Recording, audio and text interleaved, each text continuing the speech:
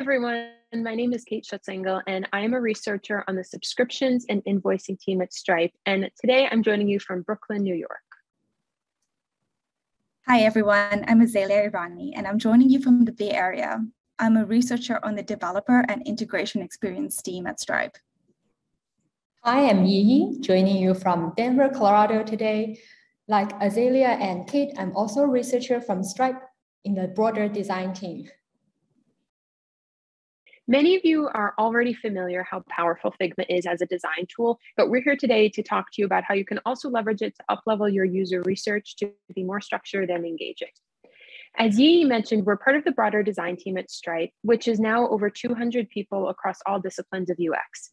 Stripe describes itself as building financial infrastructure for internet businesses. And it sounds complicated, but it means that among many things, we built tools that allow business owners to easily and compliantly accept payments from their customers. Stripe manages over half a trillion dollars of processing volume annually. So while you may or may not have heard of Stripe, there's a pretty good chance you've interacted with it, especially for the Americans here. Over 80% of American adults have made a purchase on Stripe in the past year. We operate globally, so our products and services are available to businesses in 47 countries worldwide. And those businesses can accept credit card payments from customers in 195 countries. Stripe's user base is business owners and the people who work at those companies. Our users range from large companies with thousands of employees, like some of the companies pictured on the left, all the way down to small businesses and solopreneurs. Today, we're going to talk about a fictional user, Beth, who owns a magic woodwork shop. She has a small business handcrafting chessboards we know that when you're running a small business, every dollar and every minute counts. So, our goal at Stripe is to decrease the time it takes for a user to accept their first payment on Stripe. Today, we're going to walk you through what the research process may look like from conception to launch for a product at Stripe called Payment Links. And the idea behind Payment Links is that you don't need a website or a storefront for your customers to interact with. Our users can generate a link for a product and share that out with their customers however they're already communicating with them, whether that be email, WhatsApp, text message, or anything else. The customer uses that link to go directly to the checkout screen for that specific item and can easily and securely pay with their credit card or a different payment method. In the next few sections, we'll walk you through an illustrative research process of how we get from the idea of decrease the time it takes for a user like Beth to accept their first payment to payment links as a product and how FigJam helps us elevate our research along the way.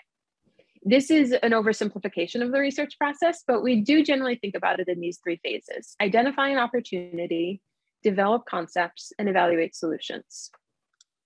First, I'm going to talk to you about how we identify an opportunity. We have our goal to decrease the time taken, but at this point, we don't know exactly how to accomplish it. We need to figure out what the opportunity is for Stripe and for our users.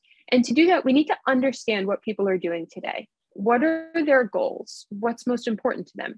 What are their current workflows and processes? And how can Stripe fit into what they're already doing to improve it? And where are the pain points? What's challenging or difficult or frustrating for them so that we know where the opportune places to ideate and grow are? Now, to answer these questions, we're going to use FigJam for an interactive workflow mapping session to find themes across users. So we're going to jump to a live demo now. Um, Azalea is going to play the part of Beth, my small business owner today, and she sells handcrafted one of a kind chessboards. Azalea, are you ready to become Beth? I'm ready. All right. So Beth, thank you so much for joining us today. Um, I want to talk to you about how you get your orders and have your customers pay you. So tell me, when you have a new chessboard to sell, what is your first step? So I have a pretty big Instagram following. So I usually post a picture there when I have something new to sell. Um, I love it because that's where all my customers are anyway. Mm-hmm. And then what happens next? Uh, so people DM me that they want to buy it, um, and then I have to make sure that I still have the one that they want in stock. Okay. And how is that step for you? Um, it's kind of annoying. I try to do first come, first serve usually, but it's a pain to make sure I don't accidentally sell one chessboard twice. Yeah, I can see that being kind of frustrating. Mm-hmm. Um, and what usually happens after this?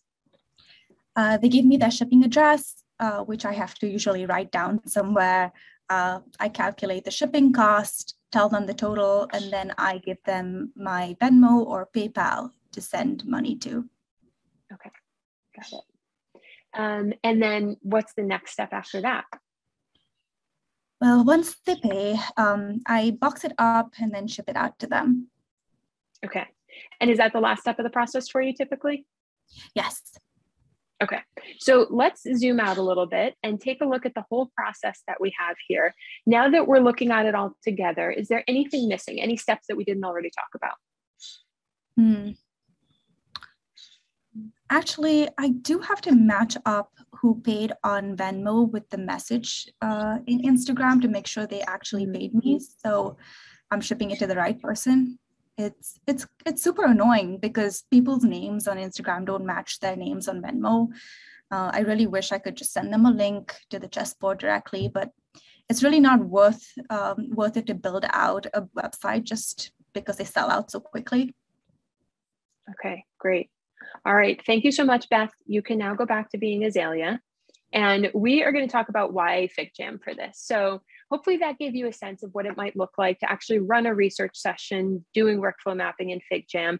In the past, I've had people just tell me what they do and I take notes separately. But there's something about my participants seeing it all visually listed out that really helps identify missing steps along the way. We can also use stamps to annotate parts of the process. So you saw Yi was taking notes there. Sometimes I'll take notes myself and do it. Sometimes I'll have the participant write it in. But we can uh, add things that are thumbs up for things that work well, thumbs down for things that work poorly, or for ideas that we might have along the way. And then the FigJam itself creates a really engaging deliverable and illustrates the sometimes very complicated processes that our users have to go through much more vividly and clearly than a paragraph or a bulleted list could ever do. So now I'm going to pass it off to Azalea to talk about the next step of the research journey. Great. So we want to make sure that people who have businesses like Beth are aware of new features like payment links and feel confident in their choice of Stripe products for their businesses. In order to design for that, we want to answer three research questions. What information do people need to be able to select a Stripe product? What do they need in order to feel confident about their choice? and how would they ideally like to learn about the different choices available to them? So to answer these questions, we use FigJam to conduct two participatory design exercises, one focused on the Stripe dashboard and one focused on our documentation. We did this because our users use both our technical documentation as well as our dashboard to learn about Stripe products when they first get started. Uh, so let's start with the one that was focused on the dashboard experience. So in this fictional example for users like Beth, we wanted to make sure that they have the information they would need the most to, uh, to make decisions that they uh, about Stripe products. So we presented them with a dashboard page where they could pull in existing information that was presented to them on the side of the screens. This was, uh, these were information modules that we had created before the session. We also gave them the ability to add questions that they had via post-it notes. As you can see, participants were able to pull in the post-it notes from the bottom of the screen quite easily.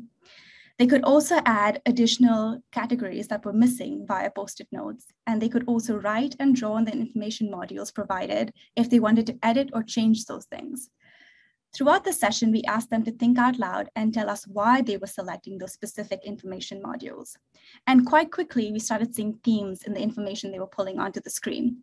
So for example, they added questions about processing taxes. Quite a few of them wanted to be able to compare the options by specific characteristics, like whether they needed to hire a developer or not. They also wanted to qu quite frequently see the payment methods upfront. So Jumping into why we used FigJam for this specific research study. FigJam was ideal because it was a co-creation tool that, was, that didn't have a steep learning curve. In the past, explaining the co-creation tool would take up so much time of the research session, and it left very little time for the most important part, asking the participant why they had selected those specific modules of information. In participatory design, the why is so much more important than the what. So that was less than ideal. We also saw that throughout the exercise, participants were more engaged and they had a sense of ownership over the work. So they, they were much more candid in the feedback that they gave and much more detailed. And this led to richer insights. We also saw that most participants mentioned that the, the exercise was fun and they could spend so much more time doing it. We noticed that there was less fatigue at the end of the session and so much more excitement. So moving on to the next participatory design exercise, this one was focused on the documentation. We wanted to make sure that users like Beth, once they had decided to use payment links, they were able to easily implement it using our documentation. So we used the thumbs up, thumbs down question mark technique uh, with stamps in FigJam. And participants were able to use the stamps to annotate the prototype in the document. So a participant marks sections that they find useful with a thumbs up, marks parts that they have questions about with a question mark stamp, and parts they don't find important with a thumbs down. And if they really like a section, they can even put a heart stamp.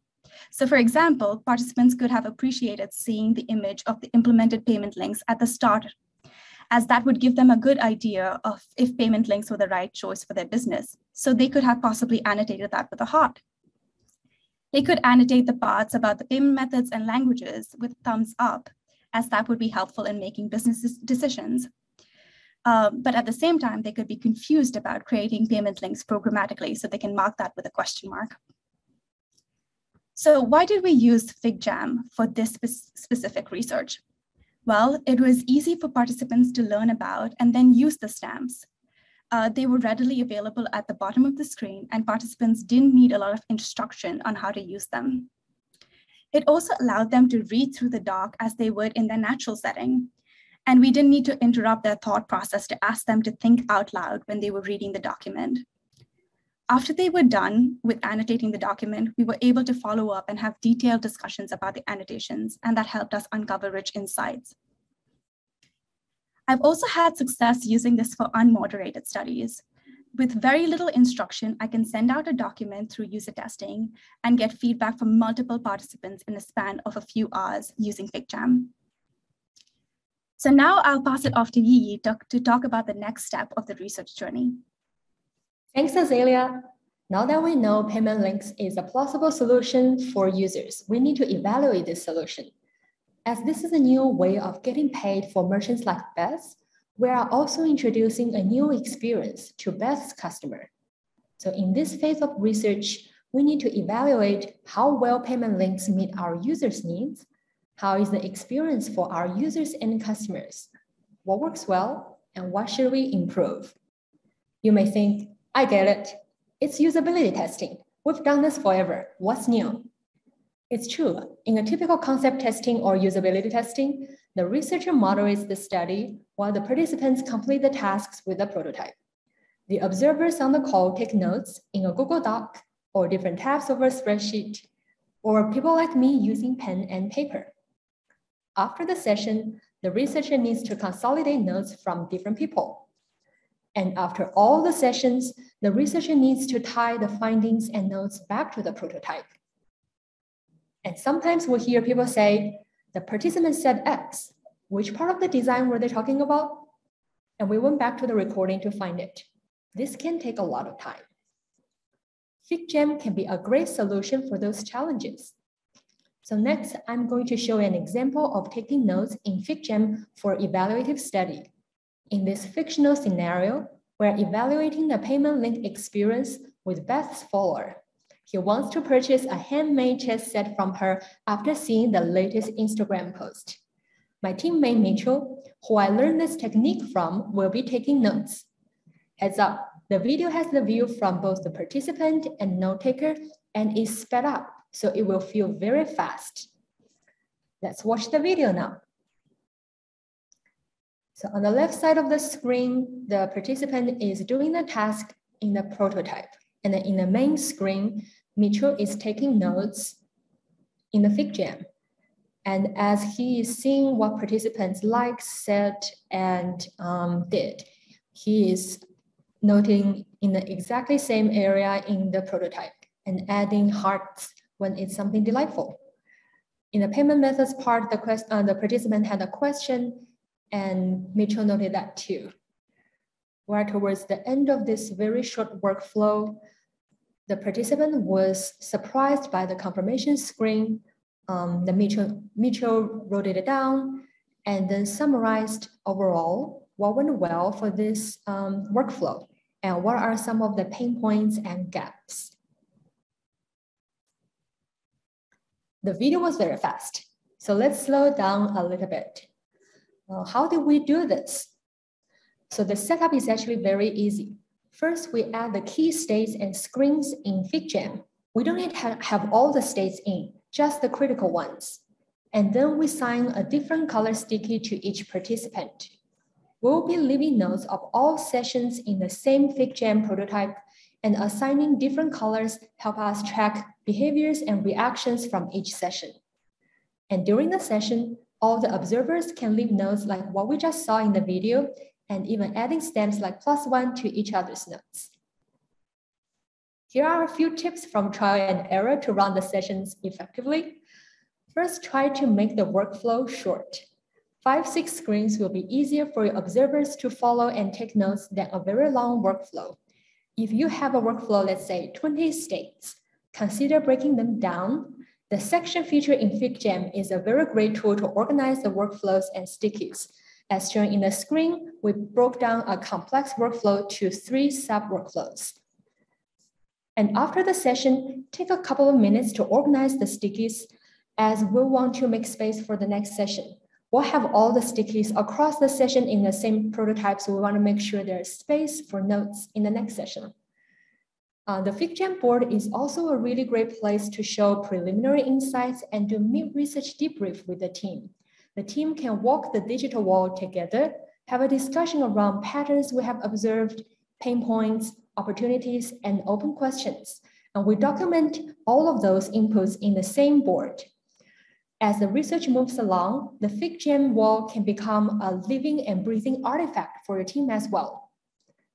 So to summarize some benefits of using FigJam for evaluative studies for your team, First, it simplifies analysis and synthesis for researchers. It cuts the step of consolidating notes from different places.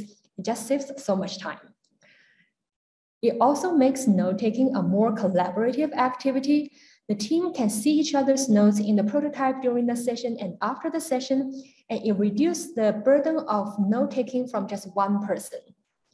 The stamps and emote in FigJam also add more fun in research sessions, not only for participants as Azalea just described, it also adds fun for your team. It makes staring at Zoom for 45 minutes a little more engaging. Last but not least, the FigJam wall helps bring the team and stakeholders along the research journey from research sessions, debriefs, data analysis, and discussion about next steps. So we've gone through several examples illustrating how you could use FigJam throughout the research process, from identifying opportunities to developing concepts and then evaluating those concepts. So next time you're planning research, think about ways you can visually represent ideas you want to learn about, so you can remind participants about the focus areas and give them something to react to. Remember, this doesn't need to be a prototype. It could be a visual representation of their journey, or it could even be a storyboard. Remember to also leverage the various interactive elements to make the session more fun. Give participants a sense of ownership and agency that will yield richer insights. Also remember to bring the team along. Think of different ways to surface insights during the session, ways to analyze the insights, and even brainstorm solutions together.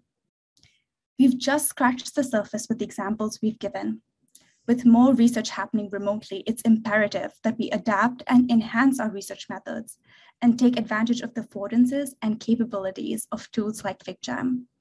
There are so many ways that you could be using FigJam to enrich your research and unleash creativity. Thank you so much for joining us today. We don't have any chessboards to sell, but feel free to message us with any questions on what we talked about today. We are always up for brainstorming different ways to use FigJam for interactive and engaging UX research. Thank you.